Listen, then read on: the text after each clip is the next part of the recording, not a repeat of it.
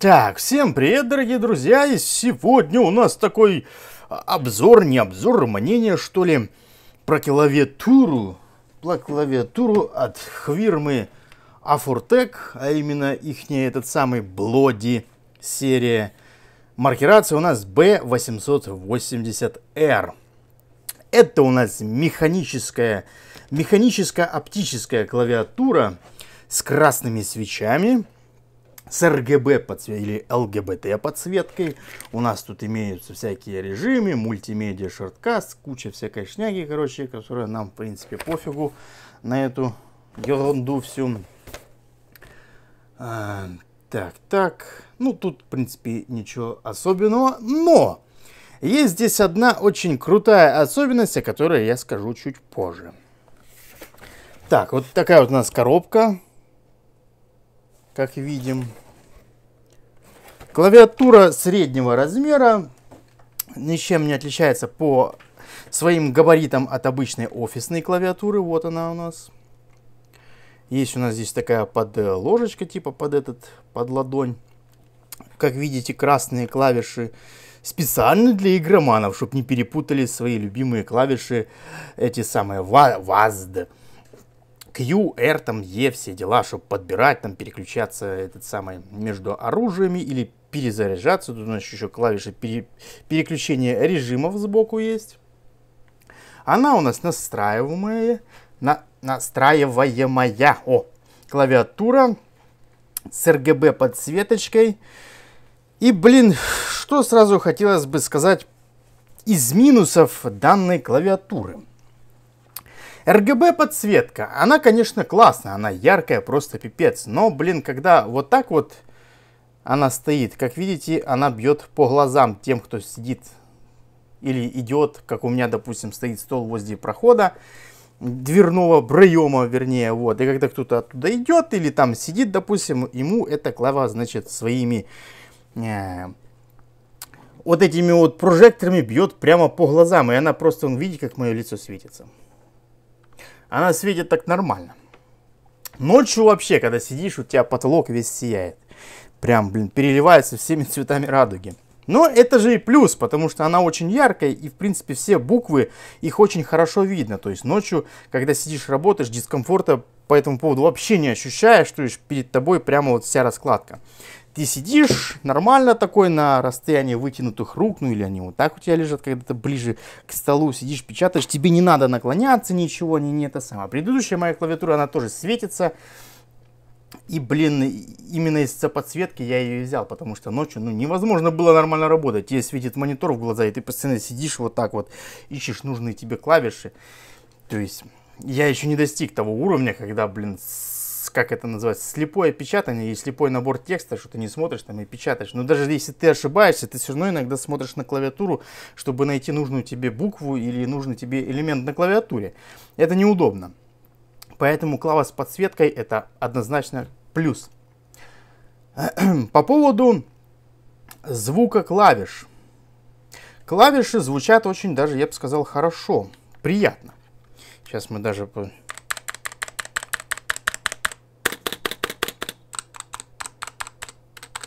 Прям вот как э, это самое. Нормальная такая дорогая печатная машинка. Звучит она действительно классно и приятно. Но она громкая, кто бы там что ни говорил в обзорах, там, что она не, не сильно там этот самый, э, по звучанию, по ушам бьет. Ночью, когда, блин, посторонних шумов нету, реально она очень громкая, и, блин, это несколько напрягает, особенно если, допустим, квартира у тебя небольшая, ты как бы живешь не один, то есть ты мешаешь всем вот этим вот своим печатанием. Если ты просто печатаешь, да, можно приспособиться, чтобы нажимать тихо клавиши, чтобы это было не так громко. Но когда ты сидишь, играешь, понятно, делаешь вот это вот постоянно, блин, капец. Оно по ушам бьет просто пипец. То есть реально очень громкая клавиатура. Ну, в принципе, это не только к этой клавиатуре относится, потому что вся механика, она очень громкая. Это не мембранная, там, где клавиш, ход клавиш довольно тихий. Есть еще специальный этот, э, Silence серии, там, которые еще тише, но все равно звуки кое-какие издает. То эта клава довольно громкая. И, как бы это выразиться, нет смысла оценивать звучание по видео и по обзорам. Ни, ни в коем случае не ориентируйтесь на обзоры. Лучше, если у вас есть возможность, пойдите в магазин и просто проверьте сами лично ту, эм, звук, именно вот насколько громкие механические клавиатуры, потому что так, в принципе, по видео и по звуку из видео, то есть, ну, можете повторяюсь постоянно, да ладно, хрен с ним, э, невозможно определить э, всю вот эту вот, как бы это выразиться, яркость звучания или громкость звучания. То есть, ну, потому что я по факту, когда смотрел обзоры, я ожидал, что будет одно, а приехала и она очень громкая. Поэтому как бы по обзорам ориентироваться не надо. Если есть возможность, пойдите в магазин, найдите эту клаву или какую-нибудь другую механическую клавиатуру и проверьте лично, чтобы понять, подходит она вам или нет. И теперь переходим, наверное, к самой главной особенности этой клавиатуры. Клавиатуры, то есть, о, что я, блин, этот самый. Это, блин, невероятно быстрый отклик клавиш. У нас здесь получается производитель пишет 0,2 миллисекунды отклик.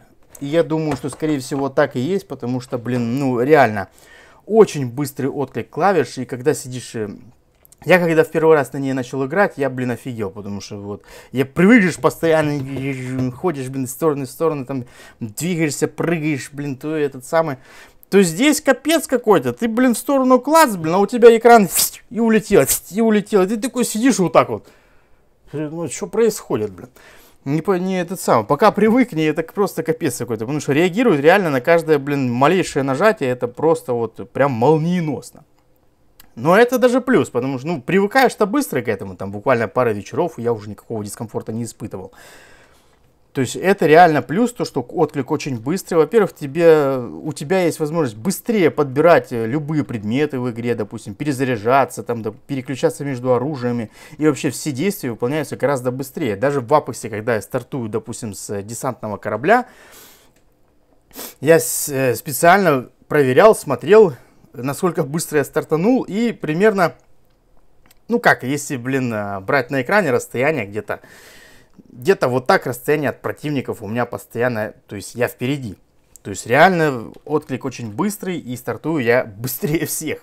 Как, э, блин, ну я еще никого не встречал в Апексе, по крайней мере, если мы стартовали с самого начала, чтобы кто-то стартанул быстрее меня. Я постоянно смотрю, мониторю и э, вижу, что да, реально отклик очень быстрый, стартуешь гораздо быстрее, предметы подбираешь быстрее, все происходит намного быстрее. То есть реально очень классная клавиатура. Она качественно собрана, никаких претензий вообще по сборке нету. Есть ножки под этот самый под наклон.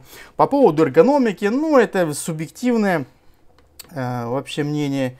И, блин, моя клавиатура по эргономике приблизительно, вот, ну, я бы даже не сказал приблизительно. Она, в принципе, один в один по наклону, поэтому по поводу э, эргономик я вообще не, не испытывал никаких трудностей. То есть я когда кладу руку, у меня такое ощущение, как будто я клаву вообще не менял. То есть у меня наклон тот же самый. То есть вообще привыкать даже к этому не пришлось. Единственное, к чему пришлось привыкать, это к быстрому отклику клавиш. А, также клавиши имеют такое некое углубление здесь. Оно не совсем такое, как у меня на клаве, потому что оно более такое плавное. Здесь оно с такими ромбами. Вот. Но оно приятное. Оно приятное, я не сказал, что оно неудобное, нормально.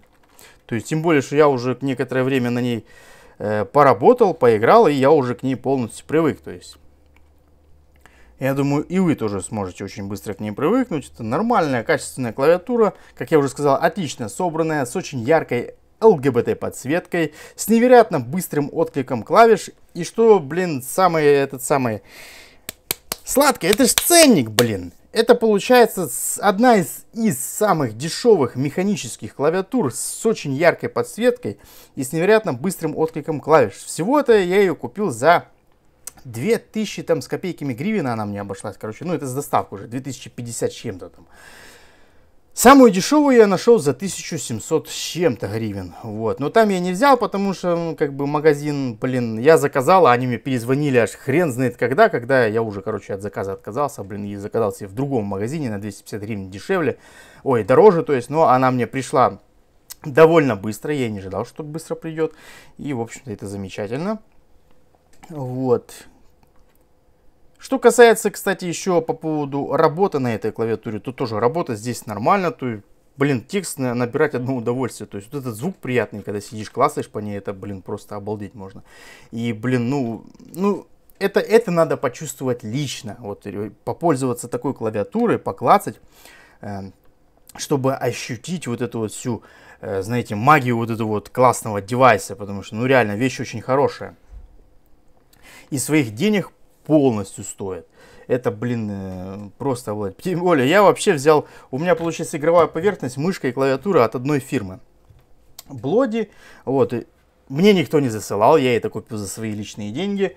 Вот, просто потому что девайсы, скажем так, эм, цена-качество. Они реально гораздо дешевле, чем конкуренты, и качество не хуже. Но о них там потом позже. И о мышке, и об игровой поверхности, кстати. Классные вещи. Вот эта вот игровая поверхность. Это не совсем коврик. Э, дело в том, что она состоит полностью из пластика. Ну да, сегодня не о ней. О клавиатуре говорим. Так, ну самое основное еще, в принципе, что хотел я сказал. И, блин, по характеристикам, я думаю, особо пробегаться не буду. Ну, затянется видео просто пипец. Можете глянуть на сайте, там и размеры написаны, и другие описания технологий и прочего. Я лично же рассказываю свои собственные ощущения и эмоции от этой клавиатуры. Потому что меня она полностью устраивает. То есть она реально по цене очень сладенькая, э, очень быстрый, как я уже сказал. Блин, я уже 150 раз повторяюсь, ну как я уже сказал. Быстрый отклик э, клавиш, она очень яркая. Есть разные режимы подсветки. Кстати, подсветка здесь переливается вот таким вот образом. Ну, ее можно настраивать, там и другие цвета есть. Можно выставлять так, как вам нужно. Можно вообще, чтобы она просто белым светилась. Яркость подсветки также регулируется без проблем просто зажимаете клавишу FN и, соответственно, вот эти вот вверх-вниз, это у нас регулировка яркости клавиатуры.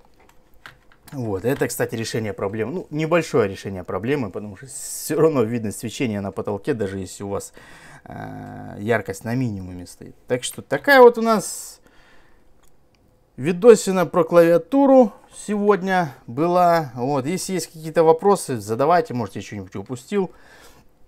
Если что интересует еще, обязательно пишите в комментариях. Так что всем спасибо за просмотр. До новых встреч. Пока.